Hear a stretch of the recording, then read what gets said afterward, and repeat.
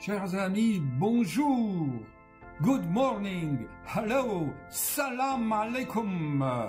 Chers amis.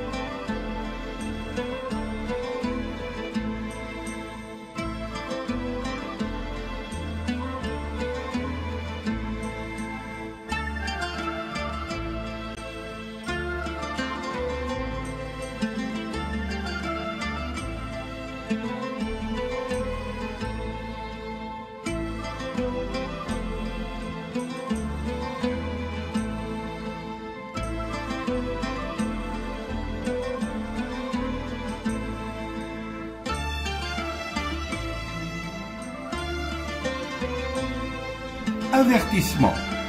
Je ne m'adresse que à ceux qui cherchent sincèrement. Il faut qu'ils soient aptes et disposés à examiner objectivement ces vidéos faites avec un grand esprit objectif. Que les fanatiques religieux et les exaltés instables restent à l'écart, car ils nuisent à ce travail respectueux. Quant aux malveillants, aux zappeurs curieux, à ceux qui cherchent la distraction et aux incapables d'objectivité qu'ils passent leur chemin. Ces vidéos ne sont pas faites pour eux.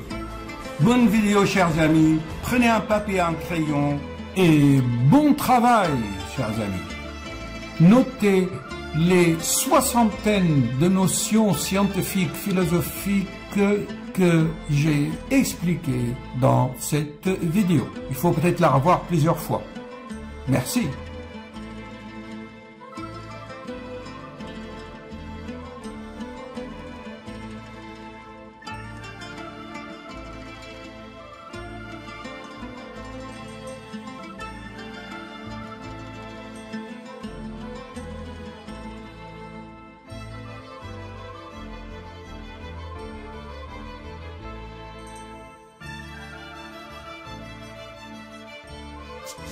Chers amis, bonjour.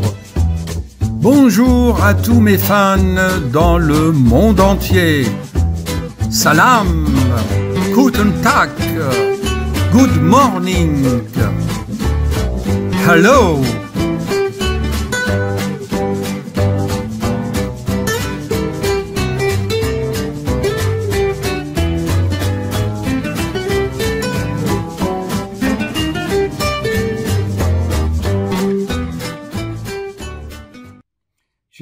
rebonjour. Depuis très longtemps, je voulais vous transmettre ces notions de l'ultime secret de l'univers. Aujourd'hui, il est temps et mon souhait de cœur est accompli. Bonne conférence et bon travail. Chers amis, rebonsoir. Il est tard. Cependant, je vais vous présenter cette vidéo pour les gens qui veulent savoir tout et tout de suite. En fait, il s'agit d'une vidéo sous forme de mise à jour d'autres vidéos que j'avais faites et notamment d'une conférence que j'avais faite dans des grandes salles parisiennes, au quartier latin et dans certains amphithéâtres. C'est une conférence longue avec beaucoup d'explications, beaucoup d'idées, beaucoup de notions. Je vous en prie, si vous voulez approfondir, s'il vous plaît, prenez un papier, un stylo et notez. C'est vraiment très important. En fait, euh, il s'agit d'un diaporama avec des commentaires concrets, objectifs, qui durent presque 2 à 3 heures. En 25 minutes, je vais essayer de vous résumer les trois idées principales. Et dans chaque partie de cette vidéo, il y a trois sous-titres. La première partie, je vais vous parler de la méthodologie de la recherche en partant de cas de deux youtubeurs il y en a un qui va parler des choses qu'il n'a jamais vues, et l'autre, il va insulter les autres et les critiquer pour avoir de la célébrité. Ensuite, je vous parlerai de deux penseurs français qui ont bouleversé notre façon de réfléchir, c'est Blaise Pascal et René Descartes, puis l'approche par l'expérience vécue personnelle, en se basant sur les grands philosophes Connais-toi toi-même. Ça, c'est la première partie de cette vidéo.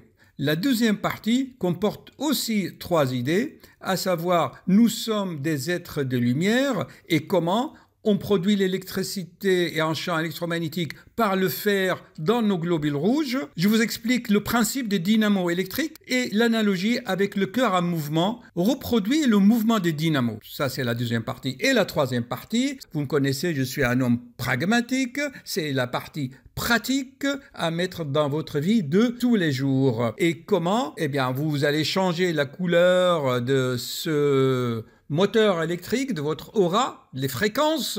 Vous allez pouvoir changer de fréquence comment? Eh bien en passant à des hautes fréquences symbolisées par la couleur violette et les basses fréquences des mauvaises fréquences par la couleur jaune pisseux et là aussi, je vous ai donné des explications. Ainsi, la loi d'attraction va fonctionner et on arrivera, je l'espère, dans quelques centaines d'années ou dizaines d'années ou quelques années, on ne sait jamais. Le temps, la notion de temps, le temps, ça n'existe pas. Et à la fin, je vais vous témoigner de mon expérience personnelle qui m'a donné ce déclic qui a donné la conviction, une conviction solide comme l'acier. Tout simplement en regardant la nature. Et je me suis dit, si la nature l'a faite, si la nature a reproduit cette forme mystérieuse, ce que cette forme est la vérité. Et c'est le reflet de la grande vérité. C'est aussi simple que ça. Et vous saurez enfin ce qui se passe dans le monde actuel, pourquoi les riches deviennent plus riches, les pauvres plus pauvres, les, mauvais plus mauvais, le bon plus bon. Vous comprendrez ces mécanismes. Alors, bon vidéo et à tout à l'heure dans vos commentaires. Si vous regardez sur le net, regardez, regardez par vous-même. L'ultime secret, ça peut être n'importe quoi. Alors, si on a un esprit euh, critique, euh, eh bien, on peut déjà faire le distinguo et voir ce qu'ils disent ces gens-là. Et pour eux, qu'est-ce que c'est un secret? Eh bien, sur le recherche Google, vous voyez là, regardez, c'est extraordinaire. Quand je tape sur Google ultime secret, eh bien, parmi tout cela, Google m'a référencé. Comme par hasard, vous voyez là, là, ici. Vous voyez, ça c'est une de mes vidéos, vous me voyez ici. Ok, on est dans un pays démocratique, de liberté, laïque, euh, scientifique, gens sont cartésiens. Mais alors, euh, comment savoir ce qui est secret? Quelle est l'ultime connaissance, l'ultime savoir? Et finalement, ça servirait à quoi le savoir? Si ce n'est pour euh, avancer, se connaître soi-même pour évoluer dans ce monde et aider à l'épanouissement de ce monde. J'espère qu'un jour, mes vidéos tombées sur les ordinateurs des grands de ce monde, traders, banquiers, députés, maires, même le président de la République un jour regardera une de ces vidéos sur ma chaîne qui est une chaîne humaniste qui aspire à la connaissance de soi. Pourquoi parler de Christ? Tu n'as jamais vu le Christ. Comment tu peux parler de Christ? Et toi, tu n'as jamais vu tout un camon. Alors tu parles de lui. Sur quelle base?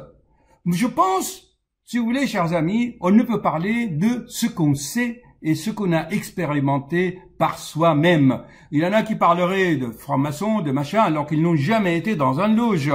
Il y en a qui parleraient de cerveau, donc ils n'ont jamais disséqué un cerveau. Et hier, j'ai vu, je vais vous montrer, là, attendez, je vais aller sur les liens.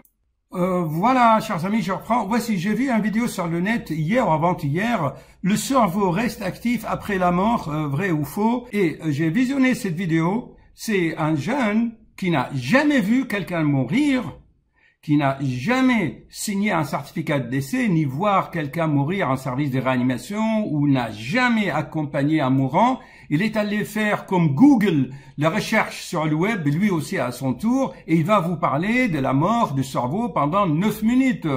Vous allez voir que dans des telles vidéos, on dit des choses qu'on a vues dans théorique, dans les livres, qu'on a entendues.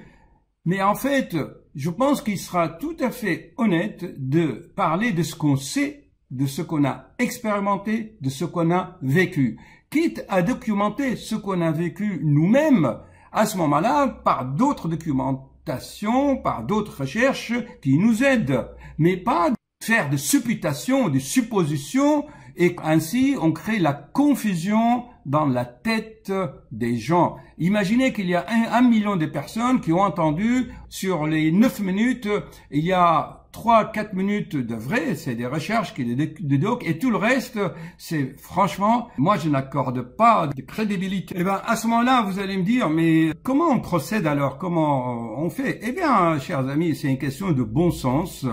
Et comme je vous explique dans toutes mes vidéos, c'est le discernement, c'est apprendre à penser par soi-même. Le but de mes vidéos, malgré leur qualité technique euh, d'amateur, c'est de susciter la réflexion, de vous inviter à méditer par réflexion à des sujets variés, que ce soit de la musique, les battements du cœur, la philosophie, les maladies, euh, la psychologie des malades, sur le spirituel, sur l'histoire. Mais le but de tout cela, le but de tout cela, c'est de susciter la réflexion. Et j'ai vu un autre vidéo aussi, je peux vous montrer, mais bon, je ne veux pas tout vous montrer. Un jeune de, de, 20 ans, il a créé sa chaîne et puis bon voilà chers amis, voilà il vient de sortir une vidéo là comment ne pas devenir un vieux con. C'est il a 20 ans et il dit bien dans dans sa présentation qu'il veut gagner sa vie en faisant des vidéos sur YouTube, en insultant les autres. Voyez-vous, chers amis, on insulte les autres. L'autre jour aussi, j'ai eu un, commercial. Moi, je suis sur un agenda Internet qui est sur les pages jaunes, et eh ben lui il dit non, il faut quitter. Et nous, on fait la concurrence, on veut battre les pages jaunes pour que vous veniez dans notre entreprise chez nous, Doctolib là. Voyez Donc, tout devient agressif, manque de respect. Pensez-vous qu'un tel jeune va réussir sa vie en insultant les autres par des vieux cons? Honnêtement, que la chance soit avec lui, mais je ne pense pas qu'on peut avancer dans la vie en écrasant les autres. Parce que toi, tu as 20 ans, tu es fier, mais tu seras bien vieux parce que tu ne peux pas contrôler ta vie. Tu ne peux pas contrôler ton avancement de l'âge. Et puis si tu arrêtais un peu la fumette, hein, ça ira un peu mieux. D'accord? Sa vidéo de ce matin, c'est il traite les vieux de cons. Voilà. Je pense que ça, dans toute chose, il y a quand même un certain degré de respect. Il faut être tout de même respectueux. Or, les jeunes actuellement, avec tout le respect que je leur dois, ils savent plus raisonner. En quelque sorte, ils ont perdu le penser. Comment penser? Par exemple, vous dites à un jeune, mais qu'est-ce que vous voulez dans cette vie? Ben, il veut être heureux il va, avoir le bonheur. Un jeune de 18 ans. Ok, mais il n'a jamais pensé, mais comment tu peux faire et qu'est-ce que tu peux faire Qu'est-ce que tu comptes faire pour être heureux? Le bonheur, c'est un état. Non, il veut être heureux comme ça. La façon de penser, ce que je lui ai expliqué, qui met le charrue devant les bœufs. Ça veut dire, normalement, pour tirer une charrette, on met les animaux devant et l'animal tire la charrette. Mais actuellement, les gens, ils mettent l'animal derrière la charrette et ils veulent avancer. Et ils ont perdu aussi la capacité de raisonner. Je vous donne un exemple, pardon, d'Aristote. Les anciens, que ce soit Socrate, Platon, Aristote, ils créaient des écoles pour apprendre les gens à réfléchir, comment on doit penser. Pythagore et l'école mystique de Pythagore, leur donner une méthode de pensée. Et en France, chers amis, maintenant, j'insiste les jeunes en France à lire le livre de René Descartes. Je l'avais expliqué dans beaucoup de mes vidéos. Il faut lire le livre La méthode de René Descartes. Et l'autre livre qui est excellent pour développer la réflexion, c'est Les pensées de Pascal. Je vais vous donner les références. Voilà, un, bon livre à lire. Hein. vous pouvez, je pense même maintenant, tout cela, on peut le télécharger. Alors, je pense que le meilleur, c'est celui-là. Je pense qu'il a été commenté par un autre écrivain. mais je pense que c'est la meilleure édition. Et puis, vous avez aussi les pensées de Pascal. Voici des bons livres qui suscitent la réflexion. Et voilà ce qu'il dit Pascal, une, une de ses citations. On peut avoir trois principaux objets dans l'étude de la vérité. Un, de la découvrir quand on la cherche. Bon, ce qui s'est passé avec moi quand je vous ai dit qu'en faisant la quête du Graal, j'ai découvert le message. Autre, de la démontrer quand on la possède.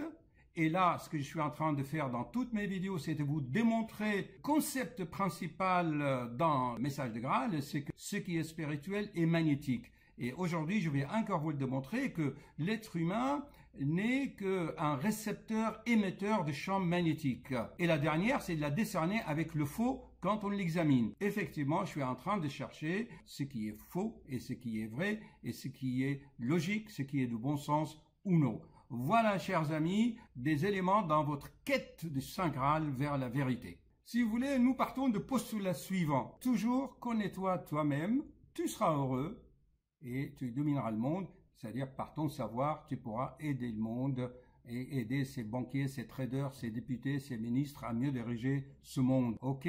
Alors en partant de ce postulat, ça devient très très simple. Tu veux connaître l'univers, tu veux connaître l'ultime secret de l'univers. Eh bien, regarde-toi, connais-toi toi-même puisque tu es l'univers, tu es le reflet de l'univers. L'adage des alchimistes, des initiés, c'est le microcosme est comme le macrocosme.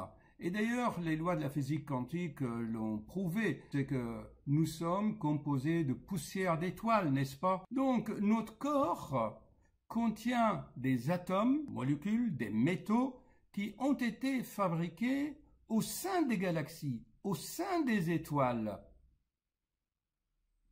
Les savants disent que le fer, partons maintenant de ce postulat, le fer qui se trouve dans tes globules rouges eh bien, ce fer-là est créé au sein des galaxies. D'ailleurs, euh, les laboratoires Velleda, ils ont des remèdes à base de ferrum siderum, c'est de fer qui vient des étoiles, des étoiles. Vous vous rendez compte, chers amis, qu'on peut faire des médicaments de fer qui vient des étoiles, c'est simple, c'est les petites astéroïdes qui tombent sur notre planète, les étoiles filantes, certains arrivent sur Terre et ça crée des petites météorites et dedans il y a du fer.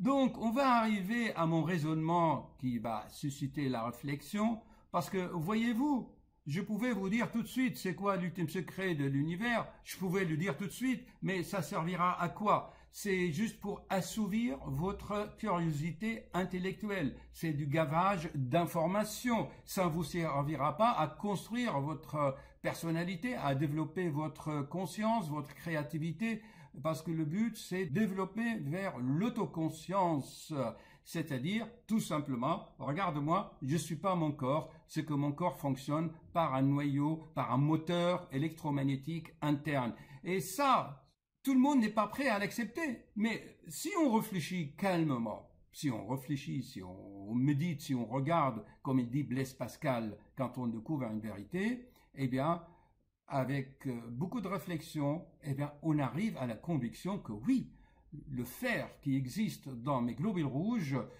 a été fabriqué au cœur des galaxies. Et je vais vous le montrer. Voyez-vous, cher ami, voici une molécule de M contenant du fer. L'hémoglobuline et ensuite quatre molécules forment les globules rouges, enfin. Mais voilà le principe. Donc le fer est au milieu de vos globules rouges. Voilà, il est disposé ainsi. Regardez le fer, il capte l'oxygène et ensuite, par la globuline, on chasse le gaz carbonique. Et voyez-vous déjà, si vous observez bien, ça n'a rien de religieux, mais en fait, il y a la forme de croix. La forme de croix à branche égale.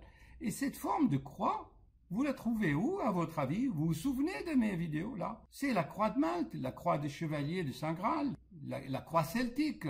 C'est que la croix est un cercle autour. Voyez-vous quand même, les anciens, par intuition, ils captaient tous ces archétypes, tout ce savoir leur a été transmis de ces mondes parallèles. Non, vous savez qu'il y a du fer dans votre sang. Retenez bien cette idée. Et vous-même, petit à petit, à la fin de la vidéo, vous allez réfléchir et découvrir par vous-même l'ultime secret de l'univers. Alors, on va passer au diapo suivant. Alors, maintenant, vous voyez le sang qui circule dans votre cœur. Voyez-vous qu'il y a un mouvement? Allez, je vais vous la remettre encore. Gardez ça bien en mémoire. Vous voyez que le sang qui contient le fer, il y a un mouvement et ce mouvement reproduit aussi le mouvement de la croix.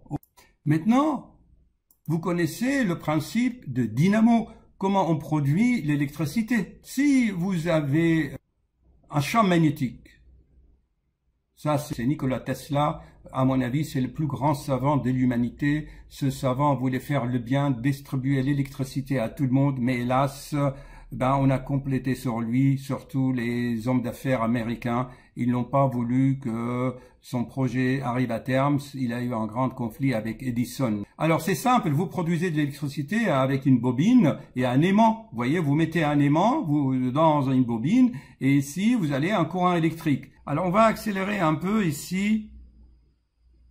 Là, il vous explique, gardez bien cette image en mémoire. Souvenez-vous de pôle Nord et pôle Sud de la planète Terre, rendre l'ultime secret de l'univers. Alors, il vous dit très bien, on met un champ magnétique, ça c'est le pôle Nord, c'est le champ magnétique terrestre, d'accord? Et ça, ça coïncide avec le fer qui est dans le sang. Soit le champ magnétique qui varie, soit c'est le fer qui va se mouvoir, en fait, qui va être euh, pulsé. Et là, c'est le mouvement. Alors, on va avancer encore un tout petit peu. Ça, c'est le mouvement, ça correspond aux pulsations du sang. Le cœur travaille pour faire du mouvement. Chers amis, la vie, c'est le mouvement. Quand le cœur s'arrête, quand il n'y a plus de mouvement, c'est la mort. Alors, on va avancer dans cette démonstration. Alors là, c'est très bien, vous voyez, plus le champ magnétique est intense, plus le courant est intense, il continue les explications. Gardez bien ces images en esprit, c'est très important. On va arriver à la production de la lumière, j'espère. Vous savez, quand j'étais jeune, en terminale au lycée, j'étais passionné par ça. J'en ai fabriqué pas mal de dynamos comme ça. J'adorais fabriquer les dynamos de vélo. Alors voilà, on va arriver à un autre schéma que j'aime beaucoup. Le champ magnétique, le mouvement du cœur, et ça produit de la lumière. Chers amis, gardez bien cette notion qu'on peut produire de la lumière à partir de mouvements. C'est très important. Et vous allez voir que notre, notre corps fonctionne selon ce même principe parce que notre corps a, notre corps a inclus en lui toute la mémoire de l'univers et l'univers depuis 15 milliards d'années, toutes les expériences que l'univers depuis 15 milliards d'années à partir de l'atome des particules élémentaires a mis en place, eh bien, on l'a dans notre corps. C'est logique. Les électrons, les protons, les atomes, tout, l'hydrogène surtout et l'oxygène, ça a été fabriqué où?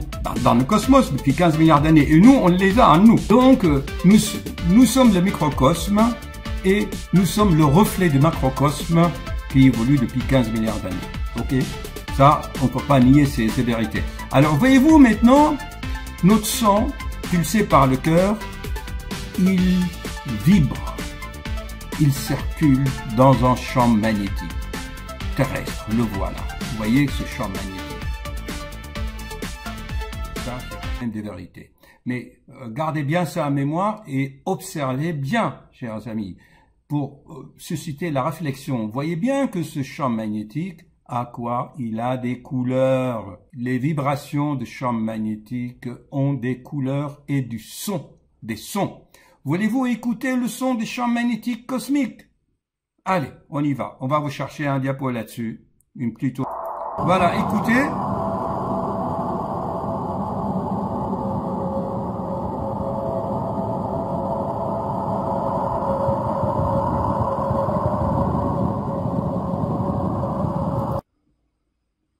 Et là, vous trouvez des couleurs de tous les champs magnétiques euh, qui sont de différentes origines, hein, parce que les mécanismes sont très divers. Les aurores boréales n'ont pas les mêmes mécanismes que le champ de, la magnétosphère, ok? Mais quand même, il y a des magnifiques, là, je vais, je vais m'enlever d'ici, il y a quand même des magnifiques couleurs dans l'univers. Il y a des sons, il y a des forces magnétiques, des forces extraordinaires. Vous vous souvenez, hein, le mouvement des champs? Magnétique. Alors maintenant, vous vous souvenez de, de ma vidéo d'hier, là, Je vais faire un petit zoom là-dessus. Donc, il y a deux activités. Donc, il y a l'activité du muscle cardiaque, qui est l'électrocardiogramme. Il est régulière à 60 par minute environ. Il y a aussi l'activité du champ magnétique. En fait, ça fait comme une modulation de fréquence. Vous avez l'onde porteuse et qui transmet l'information de nature magnétique. La question est là. Quand on dit seuls ceux qui ont le cœur pur verront Dieu, ou quand Antoine Saint-Exupéry dit on ne voit bien qu'avec le cœur, c'est avec ce champ magnétique qu'on a la perception de la pureté. Alors on va maintenant avancer et vous allez voir par vous-même quel est l'ultime secret de l'univers ou de la vie. Voilà, chers amis, l'ultime secret de l'univers, c'est que vous produisez ce champ électromagnétique qui diffuse à des milliers de kilomètres de vous. Regardez. Je l'explique souvent, c'est un schéma que j'adore. Quel est l'aspect pratique de cela? C'est quoi la finalité de l'ultime secret? C'est que actuellement, depuis 2012, il y a des rayonnements cosmiques d'origine violette mauve. Celui qui vibre avec euh, la fréquence, celui qui vibre avec la fréquence mauve violette, eh bien, il est sur le bon chemin et son cœur lui dit. Son cœur est tranquille, il n'a pas de palpitation, il n'a pas d'extrasystole, il n'y a pas de fibrillation auriculaire, il n'y a pas de, problème de santé. Mais celui qui vibre avec la couleur jaune pisseux, jaune médiocre, maladive, verdâtre, celui-là, croyez-moi, il y en a actuellement sur la planète Terre, il y a le tiers de l'humanité. Méfiez-vous, c'est ça la finalité. Donc, aspirez à ces vibrations des couleurs violettes parce que selon le message des grades, le jugement dernier, ça se passe comme ça. Ça veut dire que le Créateur, Dieu, n'est pas obligé de se présenter, ni vous. Il envoie. Il, actuellement, l'univers est inondé par les vibrations des couleurs violettes. Celui qui rentre en résonance avec par l'intégrité et la pureté et l'honnêteté, tout simplement être honnête, appliquer les dix commandements de Dieu et c'est fini. Et ainsi, vous allez vibrer avec la couleur indigo. Les enfants indigo qui naissent en Californie et en Australie, chers amis. Souvenez-vous. Et voilà l'idéal. Les, autres centres euh, de l'être humain vibrent aussi. Je vais vous montrer. Voyez-vous cette vidéo, puisque voyez-vous qu'on est entouré avec des couleurs magnifiques. Et le problème, c'est d'entrer en résonance euh, avec ces vibrations l'être humain, voilà, il se développe, il se développe des couleurs rouges, petit à petit il monte dans ses centres, surtout au niveau des plexus solaires, il monte, disons, s'anoblir et, et vibrer avec le son des cosmos. Voilà l'aspect pratique des choses, voilà l'ultime secret de l'univers, c'est que chaque objet dans l'univers vibre et envoie des couleurs. Bonne réflexion, chers amis, et à bientôt.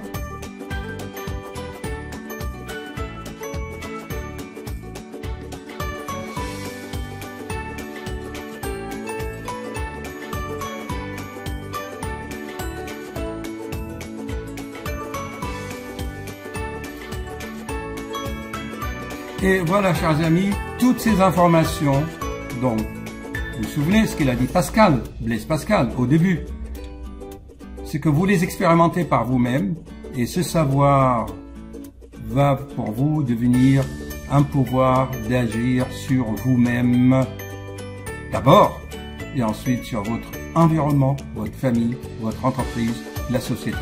J'espère qu'un jour, cette vidéo, qui sait, tombera sur le bureau d'un ministre, d'un président de la République, d'un banquier, des patrons, qu'ils comprennent la vie, qu'ils réfléchissent par eux-mêmes. À bientôt, chers amis.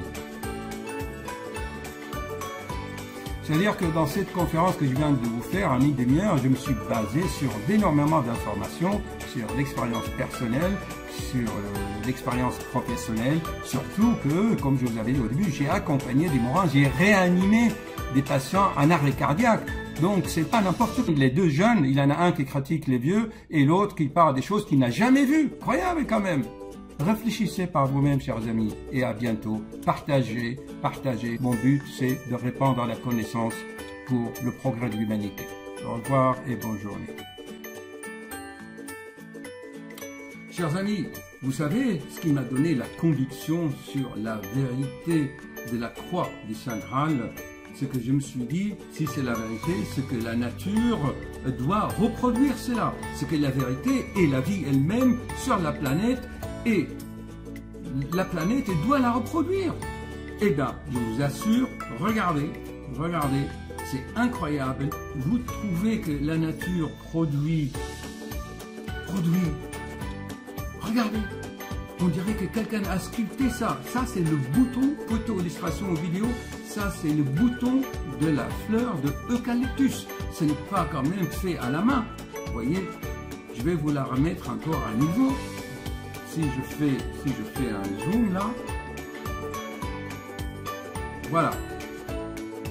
On va, on va revenir. Euh, alors vous tapez, si vous voulez vérifier par vous-même, vous tapez bouton de fleur d'eucalyptus et voilà ce que ça donne. Écoutez, ce n'est pas sorcier. Regardez comment la nature sculpte. J'aurais dû mettre ça au début de la vidéo, mais heureux celui qui ne zappe pas et qui arrive à la fin où il y a les perles. Vous tapez eucalyptus, bouton d'eucalyptus, quand vous enlevez ça, eh ben, vous aurez ce que vous avez vu, ok? Bon.